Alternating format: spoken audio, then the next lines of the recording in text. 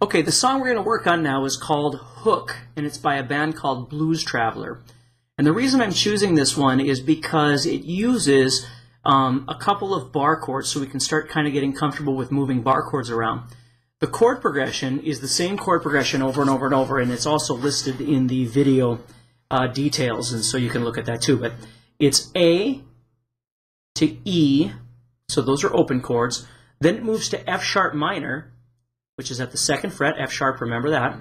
And then it's using the E minor shape. And then it actually moves to C sharp. And so what we're going to do, uh, there's a couple different ways that we can do this, but the first thing we're going to do is just keep everything on the sixth string for now. So C sharp would be the ninth fret of the sixth string, and we would make that major. Okay, so we're going from A, and it doesn't again matter which fingers you use for A, whatever's comfortable for you. So we have A, E, F sharp minor, to C sharp. So those are your two bar chords, are F sharp minor to C sharp major, or just C sharp. Okay, so this one you will be using the middle finger on, this one you are not. So A, F sharp minor to C sharp. Then we're going to go to D, to A, to D, So again, two groups of four measures is the way you can think of this. A, E, F sharp minor, C sharp are the first four, and then D, A, D, E are the second four. And again, it's written in the uh, the video details, so you can look at that. But just so you know how it goes, so we've got A to E, F sharp minor, C sharp, D to A, To E.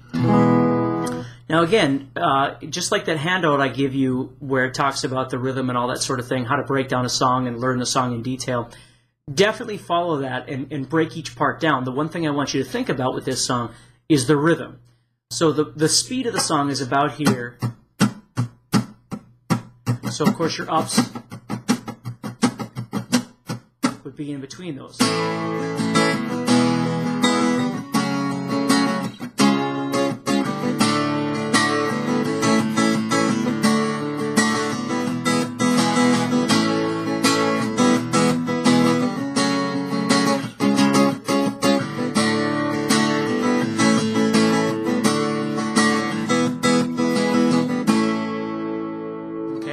So you'd want to break each part apart, of course, you know, working on the chords, working on the rhythm, finding the beat, finding the one, um, and then, of course, you're scratching.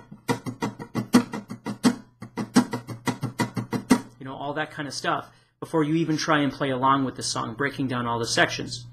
Now, with a lot of my students, what I like to do is I'll take a song like this, and what I'll have them do is in real time in a guitar lesson, is I'll have them start trying to switch chords in different places. So for instance, instead of playing A here, the next time around, they'll try and play A here. And then they'll do E and whatever. And then maybe the next time around, they try and play E up here. Okay, and they keep trying to play different places in real time to see how well they know their open chords and their bar chords. Okay, now if you do know your fifth string bar chords, what you can do then is this: you could play F sharp minor here, just like before. But we could play C sharp here at the fourth fret of the fifth string. We could play that there. So you wouldn't have to move so far. So you'd have A to E to F sharp minor to C sharp here, and then D, A, D, and E. Okay? Or you could play F sharp minor up here. Okay? Now technically when they play it, they play it up here. They go, let me think about how this goes here.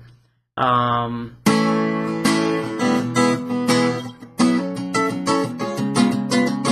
do this little thing there.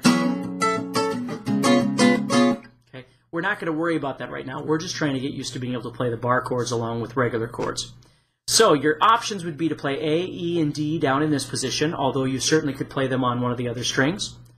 The other thing is you've got F sharp minor and C sharp, both existing on the sixth string, which is fine. Or you could play one or the other, or both, on the fifth string. So you see, you start getting used to being able to move things around to make it a little more interesting. For the first part, though, just play it as A, E, F sharp minor, C sharp, just to get used to the six string bar chords. And then D, A, D, E. Just do that. Don't worry about all the other stuff until you've really established that, and then try and make it a little more interesting from there if you would like to.